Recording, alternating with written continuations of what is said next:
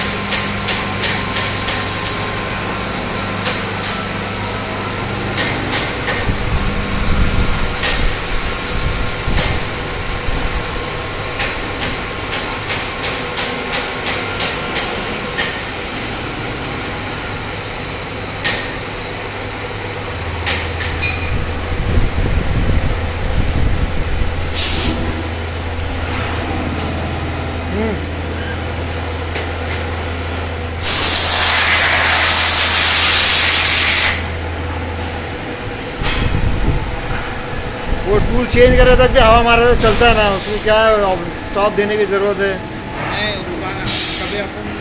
इधर भी रहते काम के। इधर भी रह गया तो फिर उतना देखना पड़ेगा ना फिर टाइम कितना जाता है उसके अंदर।